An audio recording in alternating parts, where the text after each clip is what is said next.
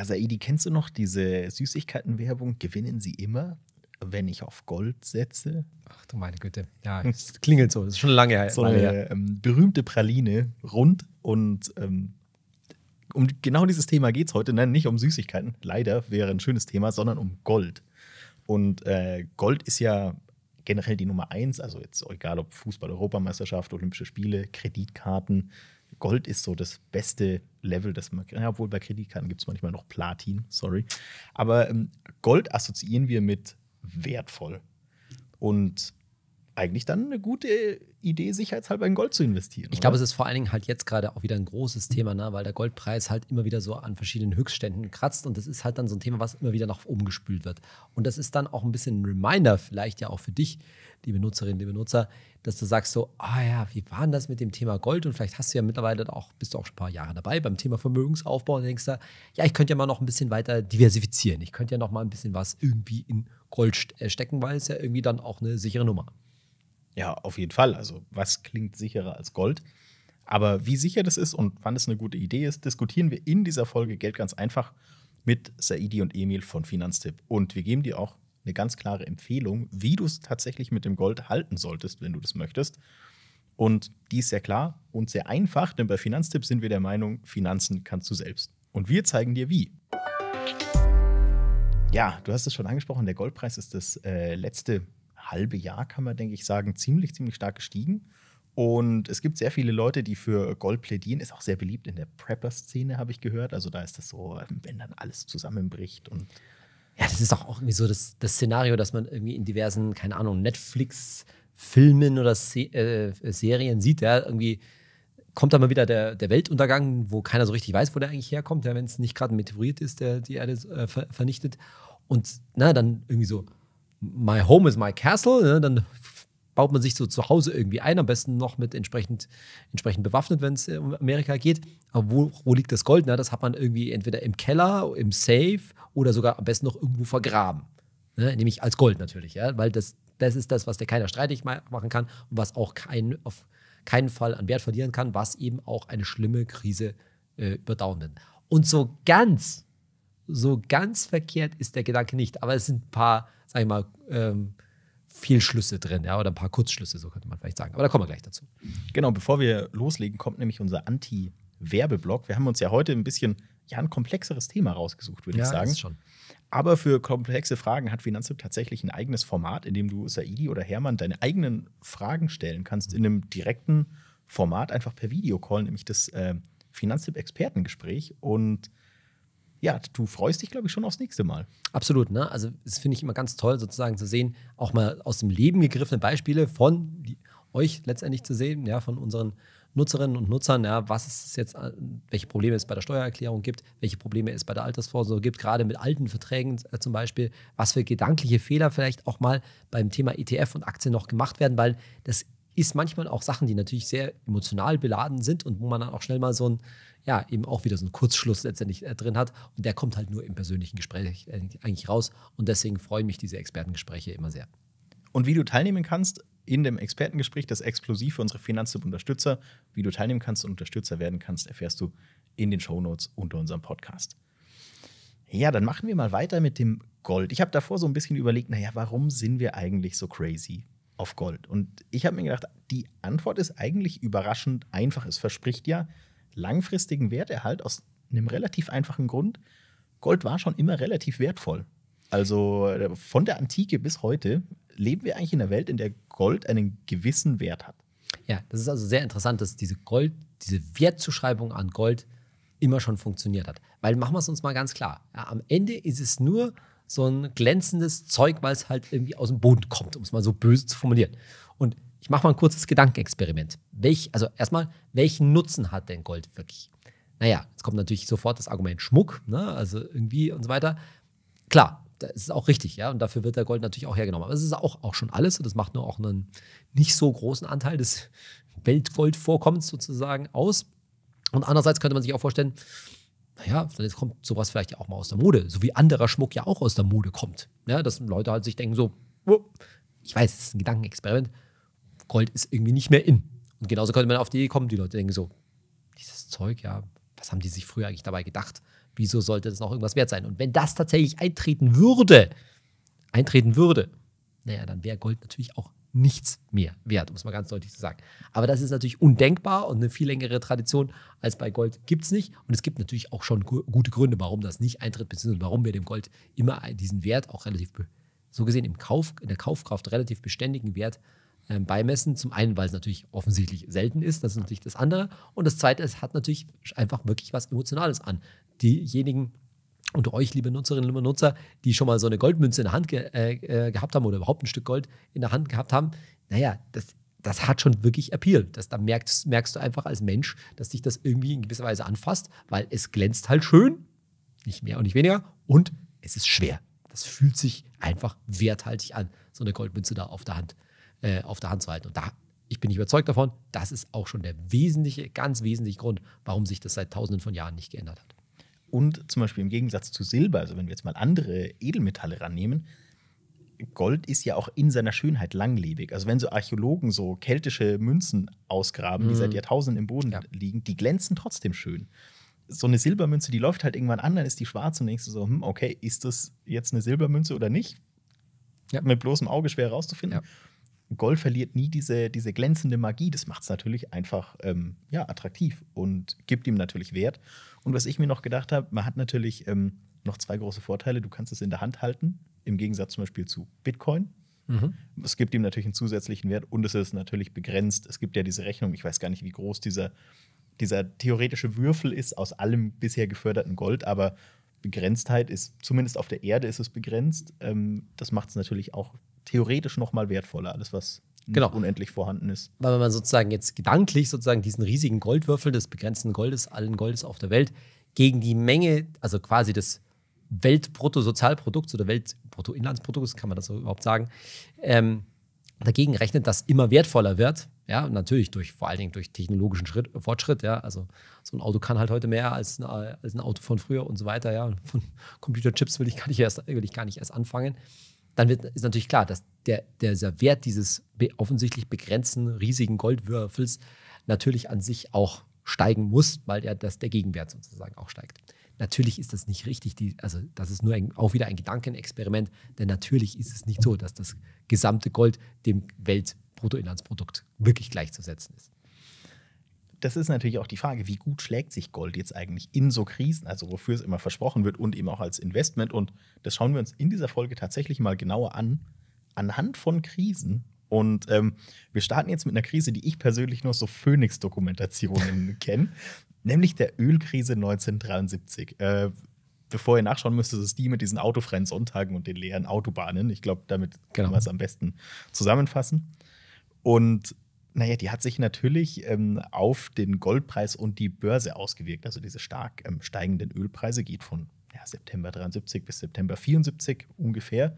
Und wenn man sich das jetzt mal anschaut, in dieser Zeit, also September, ab September 73 bis September 74, hat äh, Gold, willst du raten, wie viel Rendite? Real Inflation schon abgezogen? Genau, also jetzt müssen wir vielleicht eins dazu sagen. Jetzt gehen wir, kommen, kommen wir zu Beispielen, wo sich Gold in der Krise relativ, wahrscheinlich relativ gut verhalten hat. Ne? Also das würde ich, ich weiß es jetzt nicht, ne? ich weiß, dass es nicht in allen Krisen super gut gelaufen ist beim, beim Gold, ja, aber das, wir wollen so ein bisschen über diesen Mythos Gold als Krisenwährung äh, reden. Dabei gleich, gleichzeitig aber auch sichtbar machen, dass Gold halt einfach schlichtweg vom Preis her ganz schön schwankt. Und schwankt heißt halt auch immer nach oben wie nach unten. Ja? Also es ist nicht so, dass es nur eine Einsatzsache Also 1973, Gold in der Ölkrise, was sage ich jetzt? Das wird schon ganz schön ordentlich gestiegen sein. Ich sage jetzt 25, 30 Prozent mehr. Über ein Jahr, also bis September 74, real. Inflation ist schon abgezogen, 55 Prozent Wow. Rendite. Wow. MSCI World im Vergleich 37 Prozent Verlust, real Inflation ähm, schon eingerechnet. Also in dieser Krise hat Gold tatsächlich funktioniert. Problem ist jetzt natürlich, das ist auf ein Jahr bezogen. Also es Genau, auf so einen engen Abschnitt, ne? wo da genau auch, ich nehme genau den Kurs an dem Tag und den Kurs zwölf Monate später und das mag dann, nach, wenn du den Zeitraum nur ein bisschen veränderst, mag das schon wieder ganz schön anders aussehen. Genau, das ist, wir sind da natürlich, das ist nicht investieren, das, wir sind im Bereich von spekulieren, Ja. ganz klar. Klar. Wenn wir jetzt schauen über 15 Jahre, ähm, also bis äh, September 88, 73 also so, bis 88, okay. Hm. wir sind so am Ende des Kalten Krieges dann schon und ähm, Gold mit 4,1 Prozent realer Rendite. Pro Jahr nehme ich an, ne? Ja, Genau, über diese 15 Jahre. Ist okay. Real, ne, also nach Inflation, wir sagen immer so 5% real, dann bist du schon ganz gut dabei. Ja, okay, äh, kann man nehmen. MSCI World aber 6,5 Prozent. Mhm. Und das klingt jetzt nach wenig Unterschied, diese 2,5 Prozent ungefähr pro Jahr, aber das macht richtig, richtig viel aus über, über 15 Jahre. Also ähm, da sind wir in einem ganz, ganz krassen Fall. Krise Nummer zwei, die ich ich, lass mich kurz dazu noch was sagen. Woran liegt das? Jetzt muss man ganz klar sagen, ne? weil natürlich die 80er Jahre, vor allem der Anfang der 80er Jahre, eine relativ starke Börsenphase oder eine sehr gute äh, Börsenphase war. Und was wir halt sagen, wenn jetzt man sich vorstellt, jemand hätte, tja, letztendlich wahrscheinlich vor der Krise, das ist ja das nächste, das, das Timing wäre ja extrem mäßig gewesen, ja, vor der Krise entweder grundsätzlich in Gold investiert oder hätte seine Aktien in Gold äh, investiert, dann hätte er erstmal gegenüber dem, dem durchschnittlichen Aktien-ETF-Inhaber total gut ausgesehen, hätte aber dann, wenn er es weiter gehalten hätte, ist ja super gelaufen, was 55 Prozent real, ja, top, kann ich mich gar nicht beschweren und hätte das dann über die, über die langen Jahre der 80er, langen 80er Jahre weiter äh, gemacht, hätte er sich wahrscheinlich nicht beschwert, ja, weil 4 Prozent real, nochmal, da würde sich die, würden sich die wenigsten Leute äh, beschweren. Was er aber nicht gesehen hätte, und das ist halt das Entscheidende, Opportunitätskosten, ja, dass er halt mit Aktien nach 15 Jahren deutlich sehr, sehr, sehr viel besser dargestanden wird, weil zwischen 4% und 6, 6,5, glaube ich, waren es oder sowas in Richtung, ist schon ziemlich ordentlich Unterschied.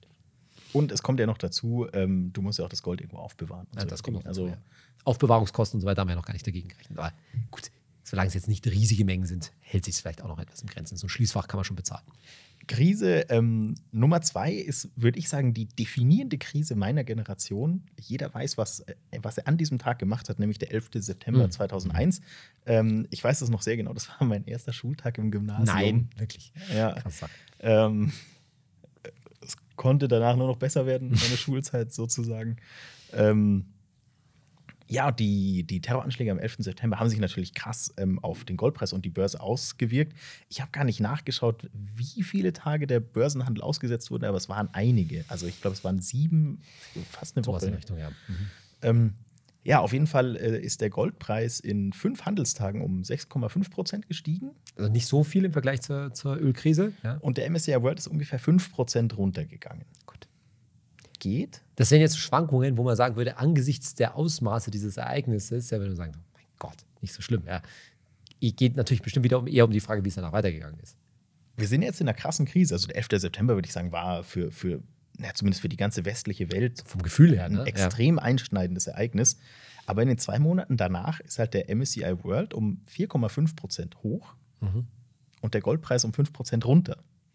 Ja, dazu muss man natürlich sagen, dass der 11. September auch noch in so eine Zeit von ziemlicher Volatilität eingeschlagen ist. Also mit anderen Worten, da war die Nervosität an, insgesamt an den Märkten eh schon groß. Warum? Weil ja unmittelbar davor angefangen hat, die sogenannte Dotcom-Blase, also die, die Internetaktien sozusagen zu platzen, weil da sehr viele Firmen auch pleite gegangen sind. Und insgesamt ja so von ganz grob 2000 ungefähr, ja, dann über 2001, also 11. September und 2002 drüber die Börse ja ganz schön in die Knie gegangen ist. Und da ist es auch nicht verwunderlich, dass du in solchen, in solchen Situationen, wo es mal runtergeht, auch wieder so einen Rebound-Effekt hast. Ne? Dass es dann auch wieder sprunghaft nach oben steigt, weil irgendwelche Spekulanten, das ist nichts anderes, ja, halt auch wieder ihre Gewinnchancen sehen und dann auf einmal wieder reingehen. Es kann aber auch, äh, habe ich äh, letztens neu gelernt bei uns in der Mittagspause, von unserem äh, Kollegen Markus. Das kann natürlich auch der Dead Cat Bounce sein, ja. der da ähm, stattfindet. War es in, diesem, in dem Fall, was jetzt auf die Aktien bezogen, war es das auch. Ne? Ähm, für euch, liebe Nutzerinnen, liebe Nutzer, es ist eigentlich ein ziemlich, äh, ziemlich makabrer Vergleich.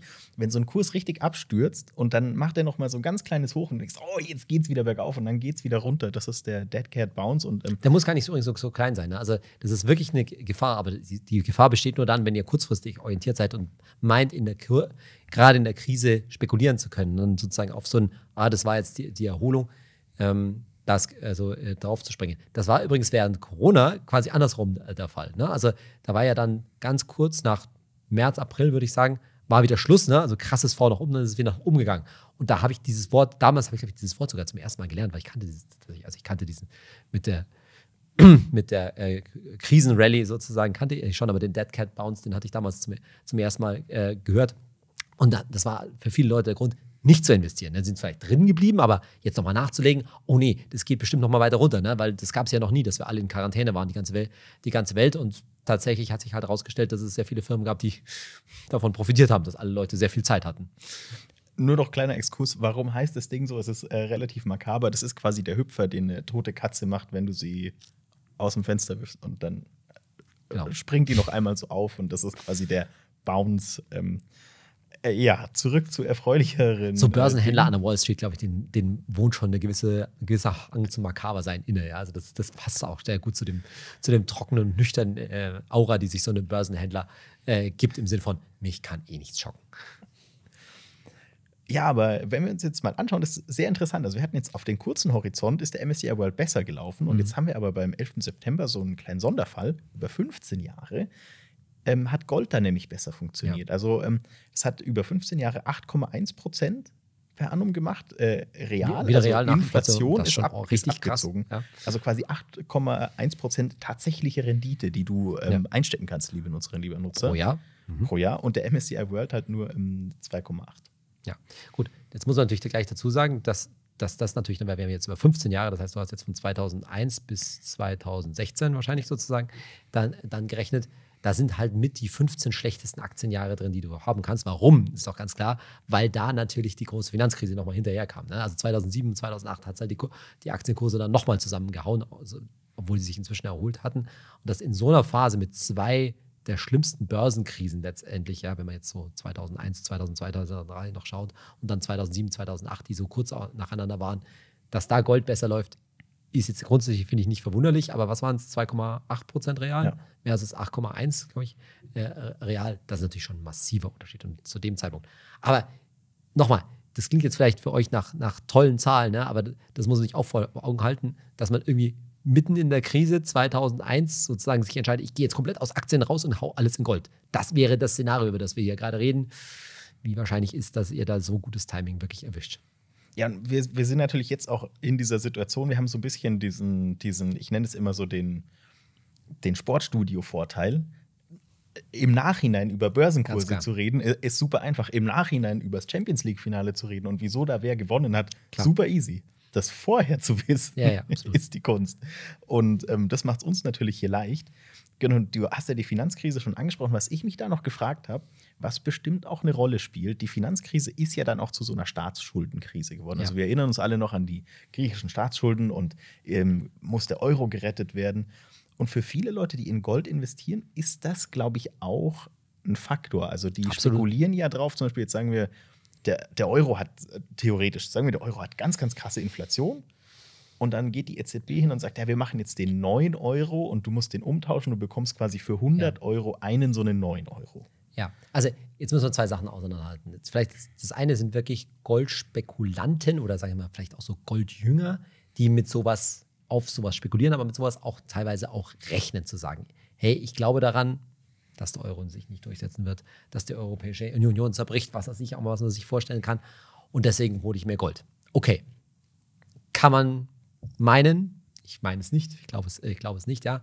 Und die andere Seite würde das, und das ist natürlich sehr viel näher an unserer Position dran, zu sagen, ich, ich begreife das einfach als Absicherung. Ich sage nicht, dass das passiert wird. Und ich, es geht auch nicht darum, ob ich glaube. Ich sage nur, es gibt eine kleine, sehr kleine Wahrscheinlichkeit, dass das passieren kann. Und für diesen Fall will ich mir quasi in Form von Gold eine, eine Sicherheit mit ins Depot legen. Der Punkt ist natürlich schlichtweg mal wieder, das ist ja alles nicht 0 oder 1. Niemand, glaube ich, ernsthaft redet darüber, ob ich Gold oder Aktien machen soll, sondern zu welchen Anteilen natürlich. Wir kommen gleich noch weiter drauf. Die Idee von diesen Goldspekulanten ist doch, so wie ich das sagen würde, ähm, naja, das Gold bleibt quasi konstant viel wert und auch wenn jetzt die Währung entwertet wird, ich habe da mein Gold und dann wird mein Vermögen nicht kleiner, weil der Goldwert bleibt konstant. So kann man das, glaube ich, Absolut. zusammenfassen, oder? Ja, kann man so sagen. Mhm. Ja, dann, ähm, jetzt haben wir so viel drüber geredet und es klingt jetzt so, wie wenn diese, dieser Slogan aus dieser Pralinen-Werbung, ähm, wenn ich auf Gold setze, klingt eigentlich irgendwie ganz attraktiv. Wenn man, wir haben natürlich noch ähm, ein paar Negativbeispiele. Ja, die, die ganz, lange, ganz lange Perspektive wirst du wahrscheinlich jetzt auspacken, oder? Da sieht es nämlich anders aus. Genau, also es ist einmal, äh, was du wissen solltest, liebe Nutzerinnen, lieber Nutzer, Gold schwankt stärker als der MSCI World in seinem Wert und liefert Meint man ja immer gar nicht, aber ist tatsächlich so, ja. man kann sich das ähm, so ein bisschen, wenn man, aber das ist vielleicht auch bei uns, weil wir natürlich sehr viel Medien zu so Themen konsumieren, da merkt man das immer ein bisschen, weil Gold feiert sehr oft neue Höchststände. Und das heißt natürlich, es geht dazwischen immer wieder weg von diesen Höchstständen. Und das mit den neuen Höchstständen hört sich natürlich auch so ein bisschen wie nach Aktien an. Ne? Im Sinne von, da gibt es ja auch immer wieder neue, neuer DAX-Höchststand und so weiter, immer wieder höhere Höchststände, dann hat man so das Gefühl, das ist vergleichbar, aber das ist schon mal die erste Message, weil Gold halt an sich jetzt erstmal rein der Preis im Wesentlichen durch Angebot und Nachfrage bestimmt wird. Und Angebot und Nachfrage schwanken halt da, bestimmt von vielen Faktoren, haben wir gerade schon gehört. Inflation, Zinsniveau, Aktienkurse und so weiter. Oder auch Staatsschulden. Ähm, und da, äh, weil halt so ein, wenn ein, ein Gut wie, wie Gold eben durch Preis, äh, durch, durch Angebot und Nachfrage im Wesentlichen bestimmt wird, dann ist es ganz normal, dass der Preis auch entsprechend deutlich schwankt. Und ähm, Herr Gold liefert tatsächlich weniger Rendite. Das sieht nur in diesen Krisen, die wir jetzt rausgezogen haben, anders aus. Also ein Beispiel, gehen wir mal 1975 bis Ende 2023, also wirklich ein langer Zeitraum, ähm, macht Gold real, Inflation schon abgezogen, 2,17 Prozent. Also Inflation geschlagen, erstmal gut. Naja, bei der MSCI World macht 6,66 Prozent real Inflation schon abgezogen. Also der macht das Dreifache an Rendite und das macht für dein Vermögen einen massiven Unterschied. Ja. Und da muss man natürlich auch ganz deutlich sagen, woran lag das? Weil wir halt gerade in den 80er und 90er Jahren eine ganz lange Downphase beim Gold hatten. Und das ist halt schon etwas, was, was man halt auch sehen muss, dass Gold halt in dem Sinne auch nicht nur risikoreich ist, weil es eben, weil der Preis schwankt, sondern weil du eben hier auch lange Phasen haben kannst, nicht musst, aber kannst, wo der, der Preis sich überhaupt nicht in dem Sinne ins Positive bewegt. Also ich glaube, ich weiß gar nicht mehr, wie lange dieser Zeitraum war, ja, aber das waren erheb, wirklich erhebliche jahrzehntelang, in dem Fall ja über die 80er und 90er Jahre eine, eine Phase, wo du an Gold einfach keinen Spaß hattest. Vor allen Dingen deshalb, das ist natürlich ein wesentlicher Grund, weil du ja keine Erträge davon hast. Also du kannst dir dein, dein Goldwaren nehmen, ja, und davon runterfeilen, sozusagen, und dann den Goldstaub verkaufen. Ich äh, mache das jetzt ein bisschen, äh, mach das jetzt ein bisschen sarkastisch, aber das ist halt nicht das Gleiche, als ob eine Aktie eine Dividende abwirft. Es ist kein, bei Gold kein laufender Ertrag, weil ich, ich feile wirklich in dem Sinne, um bei, in diesem Bild zu bleiben, das ist nur als Bild gemeint, ich feile wirklich an der Substanz. Dagegen wird die Dividende natürlich aus dem Ertrag, aus dem ähm, laufenden Gewinn des Unternehmens äh, gezahlt oder sollte sie, sollte sie zumindest. Und diese laufenden Erträge, genauso wie Zinsen, fehlen halt beim Gold. Du hast ja danach immer noch eine Aktie. Also du hast ja nicht weniger Aktie, weil ja. die Dividende ähm, ja. ausgezahlt wurde. Ja, und ähm, nur um das kurz nochmal in Zahlen zu fassen, also ähm, zwischen 1980 und 2001 hat Gold real an 80 Prozent an Wert verloren. Das sind 21 Jahre, ne? Ja. Über 21 Jahre 80 Prozent nach Inflation verloren. Heiliger Bimbam. Und äh, der MSCI World hat in der Zeit äh, 10 Prozent Ahnung gemacht. Also ja solide Phase. Ein gigantischer Unterschied. Der Punkt ist natürlich, muss man sehen, das ist natürlich jetzt auch ein bisschen fies, weil wir jetzt, weil du jetzt wahrscheinlich gerade bei 1980 war das, glaube ich, gell? natürlich eine, gerade eine Phase äh, abgeschnitten hast. Das ist wieder so ein Timing-Effekt, ja, wo Gold gerade relativ gut ge gelaufen war. Aber nichtsdestotrotz sind es 21 Jahre und selbst wenn ich aus diesen 21 Jahren, ich sage jetzt irgendwas, 10 oder 15 Jahre rauslief, dann war es immer noch nicht toll. Und nochmal, der Hauptgrund, warum das passiert ist quasi, weil es ist ein bisschen schwierig, das also eins zu eins zu vergleichen, aber wenn ich schon Assetklassen miteinander vergleiche und jetzt hier zum einen Aktien als Vergleich zu Gold nehme, aber auf der anderen Seite sicherlich auch Zinsanlagen, dann fehlt halt diese laufende Ertragskomponente. Übrigens immer der, das gleiche, die gleiche Leier, die ich wieder immer anstoße, ja, zu sagen, natürlich sind Dividenden bei Aktien wichtig. Dividenden liefern einen Laufen, wichtig, einen wichtigen Beitrag zum laufenden Ertrag und damit auch zum laufenden Zinseszinseffekt bei Aktien. Und dann kommen wir endlich zu dem, was wir versprochen haben, nämlich einer klaren Lösung, ja. wie du es mit dem Gold machen kannst. Und unser Tipp ist ganz klar, du solltest maximal 10% deines Vermögens in Gold stecken. Naja, warum? Es gibt, wie wir auch ein bisschen rausgearbeitet haben, es gibt schon Sicherheit gegen große Krisen. Und wenn du das maximal mit 10% machst, pufferst du das ja so ein bisschen ab. Aber deine Chance auf Rendite mit dem MSCI World bleibt halt trotzdem gut. Genau, also erstmal die Ausgangshypothese. Ne? So wie wir sagen, warum investiere ich in Aktien? Ne? Weil ich mit dem laufenden Gewinnsteigerung letztendlich der Weltwirtschaft, der großen Aktiengesellschaften dieser Welt rechne und damit mein Vermögen aufbauen will, ist die Hypothese oder die Annahme, wie wir es vorhin schon gesagt haben, wenn ich in Gold investieren will, zu sagen, ich möchte in meinem Vermögen eine Absicherung gegen eine wirklich schwere Krise. Und schwere Krise meinen wir hier tatsächlich nochmal was Heftigeres als in Anführungszeichen nur ein Börsencrash um 30, 40, 50 Prozent schwere Wirtschaftskrise, in dem Fall gemeint so etwas tatsächlich wie, dass eine Währung auseinanderbricht, eine Währungsreform äh, zum, zum, Beispiel oder sonstige weitreichende schwere Wirtschaftskrisen. Und die Annahme, und die ist halt auf der Vergangenheit schon relativ gut begründet, ist, dass in so einer schweren Krise Gold seinen Wert wahrscheinlich stark steigern würde, vielleicht sogar vervielfachen würde. Und dann kann ich von meinen 10% meines Goldes sozusagen einen Teil auch letztendlich der Aktienverluste, die es ganz bestimmt dann auch geben wird, letztendlich ausgleichen. Das ist eine Art von Hedging für die Profis unter euch, eine Art von Absicherung gegen eine solche schwere Wirtschaftskrise, aber eben auch nur mit 10% meines Vermögens, weil grundsätzlich die Basisannahme ist zu sagen, die Masse des Vermögens, die Masse, die insbesondere in Aktien investiert ist, die kann ich vernünftig anlegen und wird dann auch, sofern alles normal läuft, auch eine Rendite liefern, die zumindest historisch, aus der historischen Erfahrung, eine Rendite deutlich oberhalb von Gold langfristig liefern wird. Was natürlich so der kleine Haken dran ist, unsere Empfehlung ist ganz klar, ähm, kauf nur physisches Gold, ja. also Gold, das du in der Hand halten kannst, nämlich Münzen oder Barren. Und dann kommt natürlich die nächste Baustelle, die musst du halt sicher aufbewahren. Also das klassische Dagobert Duck-Modell sozusagen, ähm, bei dir zu Hause, eventuell im Tresor oder zum Beispiel in einem Bankschließfach, muss man natürlich ehrlicherweise sagen, das verursacht halt beides Kosten, die natürlich von der Rendite weggehen. Ja. Je nachdem vom investierten Betrag ist das natürlich irgendwann nicht mehr relevant. Aber alle Tipps dazu findest du in unserem Ratgeber, den wir in den Shownotes verlinken. Aber das ist natürlich schon nochmal eine Baustelle, weil du musst es ja zum Beispiel auch nochmal mit deiner Hausratversicherung abklären, wenn du es zu Hause aufbewahrst. Wie ist es dann abgesichert? Es kann ja doch mal sein, dass jemand einbricht oder so. Genau, es ist nicht so einfach, wie sich eine App aufs Handy zu laden, wie so ein ne, Wertpapierdepot, Neobroker. Das, natürlich, das ist schon deutlich einfacher, das ETF investieren als Investieren in Gold. Ich habe einfach mal physisches Zeug, um das ich mich kümmern will.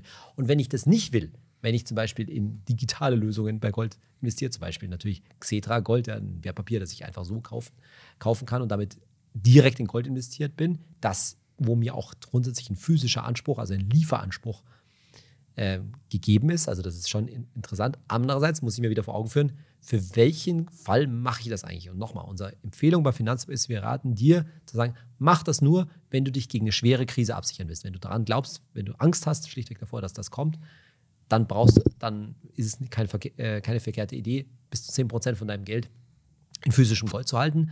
Übrigens dann auch, weil du ja gesagt hast, das ist alles mit Kosten verbunden, entweder mit Aufwand für dich selbst oder mit Kosten für ein Bankschließfach. Das macht man in aller Regel nur, wenn man schon irgendwie ein vernünftiges Vermögen angehäuft hat. Was auch immer das bedeutet. Ja, also ich würde nie irgendwie unter ein paar tausend Euro in Gold anlegen. Ja, es lohnt sich nicht jetzt mit 500 Euro in Gold anzufangen. Das ist irgendwie nett, das ist fast schon eher Spielerei dann, aber nicht eine ernsthafte Vermögensabsicherung, weil dann kann ja das gesamte Vermögen einfach auch nicht so groß sein. So, und für diesen Fall einer schlimmen Krise, naja, da will ich mein Gold bei mir haben. Ja, da will ich nicht darauf angewiesen sein, dass ich mich erstmal an irgendeine Bank oder sonstige Organisation wenden kann und dort mein, mein physisches Lief Auslieferungsrecht quasi durchzusetzen, weil in so einer schweren Krise mögen halt auch verschiedene Systeme tatsächlich einfach mal nicht funktionieren. Und da will ich nicht darauf angewiesen sein, wenn ich jetzt das Gold wirklich brauche, weil ich mir davon zum Beispiel tatsächlich sogar auch lebensnotwendige Sachen kaufen muss, weil ich es vielleicht teilweise in eine neue Währung umtauschen will, da will ich nicht auf so eine Konstruktion angewiesen sein, die vielleicht grundsätzlich total solide gebaut ist, aber wo ich letztendlich darauf angewiesen bin, im Falle Fälle, wenn es wirklich hart auf hart kommt, mich auf so einen Lieferanspruch verlassen zu müssen. Genau, und wo wir dir empfehlen, Gold zu kaufen, liest du auch in unseren Show Notes. Geht übrigens super online. Ja? Also man muss Gold nicht jetzt irgendwie beim Goldhändler oder so kaufen. Da ist auch der Kurs oft mal nicht so klar und nicht absichtlich. Also wäre ich wirklich vorsichtig, sondern bei einem zertifizierten Online-Händler, so wie wir es eben bei uns auf der Seite haben, Stichwort Show kann man unproblematisch inklusive versicherten Versand. Die Frage hat man ja dann auch immer, oh Gott, wie kommt das Zeug eigentlich zu mir? Kann man auch online äh, Gold problemlos kaufen. Und ich würde sagen, das Fazit ist, ähm, anders als bei Süßigkeiten gewinnt man nicht immer, wenn man auf Gold setzt. Nee, das kann auch, ich will nicht sagen, total in die Hose gehen. Das ist schon relativ unwahrscheinlich, dass es total in die Hose geht. Aber die Wahrscheinlichkeit, dass es langfristig weniger macht als ein breit gestreutes Aktienportfolio, ist schon ziemlich hoch. Und dann kommen wir auch schon zu den Fragen unserer Nutzerinnen und Nutzer. Und ähm, Thomas möchte von dir wissen, Hey Saidi, Gemeinschaftsdepot ja oder nein? Gemeinsames Girokonto ist schon vorhanden. Also grundsätzlich würde ich sagen, ist, auch das ist, da gibt es kein wirklich richtig oder falsch. Ich bin kein so ein Freund grundsätzlich von so einem Gemeinschaftsdepot, weil auch da ist es wieder so, dass sich beide Partner, das sind wir wieder bei dem Partnerthema, schon relativ einig sein müssen, ne? was so die eigene Risikobereitschaft angeht, was das Ziel von, der, von dem Investment ist und so weiter. Das kann bei allen, wenn die sagen, hey, wir haben das beide verstanden mit den Aktien-ETFs und das ist alles gar kein Stress und wir teilen uns das später auch und wir haben jetzt auch keinen Ehevertrag zum Beispiel, sondern wir machen das nach Zugemeinschaft, sollten wir uns mal trennen, weil wir, wenn wir verheiratet sind, dann ist so ein gemeinsamer ETF auch kein großes Problem und lässt sich nachher dann entsprechend anteilig auch die ETF-Anteile auch relativ problemlos wieder aufteilen. Aber grundsätzlich im Sinne von, ihr habt jeder euer eigenes Girokonto, ihr habt dann vielleicht ein Gemeinschaftskonto, von dem ihr die Kosten für die Miete und Einkäufe und sowas in Richtung bestreitet. Aber so habt ihr natürlich auch getrennt jeder sein Vier-Töpfe-Prinzip. Und zu dem Vier-Töpfe-Prinzip gehört natürlich auch, dass jeder sein Depot hat, führt, glaube ich, auch am Ende zu weniger Konflikten und zu weniger Streitigkeiten.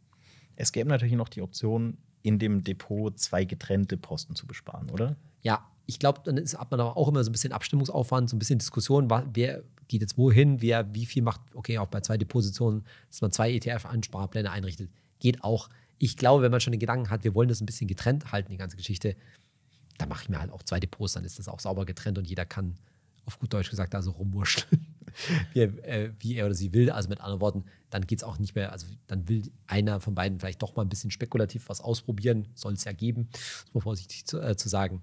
Das macht man dann lieber auf einem eigenen Depot. Und dann haben wir passend zu unserem Goldthema eine schöne, ich sag mal, Doomsday-Frage, und zwar von äh, Freigeist 1985. Hey Saidi, was wäre, wenn Amerika pleite geht? Amerika pleite? Waren sie schon öfter, oder? Habe ich was verpasst? Also, Entschuldigung für den, für den bisschen Sarkasmus, ne? aber es war ja schon öfter so mal, dass der amerikanische Staat, also jetzt natürlich die Frage, was ist mit Amerika gemeint, ja? Was, was ist, wenn Amerika pleite geht? Naja, der amerikanische Staat war öfter mal aufgrund von fehlenden Haushaltsbeschlüssen zwischen Demokraten und Republikanern zahlungsunfähig. Und was ist die, Differen äh, die Definition von Pleite bzw. insolvent, wenn ich nicht mehr zahlen kann? Nun, gut, das ist jetzt vielleicht ein bisschen, über, bisschen überspitzt. Ja. Natürlich war der amerikanische Staat in dem Sinne nicht mehr, nicht mehr pleite, aber es ist so. Wenn Amerika seinen Zahlungsverpflichtungen nicht mehr nachkommt, ist natürlich die Frage, welchen Zahlungsverpflichtungen, dann wären sie, äh, dann, äh, wären sie pleite. Also kein so völlig undankbares äh, Szenario. Und natürlich geht es jetzt darum, dass diese Frage natürlich total vereinfacht ist, ja, weil Amerika besteht sehr viel mehr aus, als nur in Anführungszeichen aus dem amerikanischen Staat, sondern auch natürlich auch entsprechende Bundesstaaten, ja, bis hinter auf Gemeindeebene. Aber dann vor allen Dingen besteht Amerika natürlich auch zu großen Teilen aus der amerikanischen Wirtschaft. Ja. Und bis die pleite geht, also das ist dann wirklich wie hast du es vorhin genannt, Weltuntergangsszenario, das ist nochmal eine ganz andere Sache. Und nein, das wollen wir uns nicht ausmalen, aus, äh, ausmalen, wenn die amerikanische Wirtschaft tatsächlich zahlungsunfähig wäre als gesamte, aber das ist auch vollkommen unrealistisch, ja, weil die amerikanische Wirtschaft natürlich auch mit der Weltwirtschaft sehr stark vernetzt ist. Ne? Wir müssen nur an die ganzen großen internationalen Konzerne denken. Die gehen nicht auf einmal so komplett pleite. Das ist dann schon wirklich ein Doomsday-Szenario. Äh, und natürlich wäre es alles andere als lustig, wenn der amerikanische Staat nachhaltig zahlungsunfähig würde. Das wäre schon ein ziemliches Beben und ziemlich, ziemliches äh, Problem. Vor allen Dingen würde es den US-Dollar wahrscheinlich ziemlich äh, beschädigen. Aber am Ende, das ist auch eine ganz wichtige, äh, ganz wichtige Aussage, es gab ja solche großen Pleitefälle, auch bei Staaten schon, vielleicht jetzt nicht im Fall von der Größe, dass ein Land wie Amerika pleite gehen würde. Aber letztendlich, egal wie die großen Krisen in der Vergangenheit ausgesehen haben, ein international breit gestreutes Aktienportfolio, also mit anderen Worten, ein, ein weltweiter Aktien-ETF, hat sich auch von solchen schlimmen Krisen irgendwann wieder erholt. Bloß, dass ich glaube, für diesen Fall wird die Krise wahrscheinlich schon eine Weile länger dauern. Da kann ich nur sagen, vielen Dank, dieser Idi. Vielen Dank dir, liebe Nutzerinnen, liebe Nutzer, fürs Zuhören oder Zuschauen und bis zum nächsten Mal. Bis zum nächsten Mal. Vielen Dank.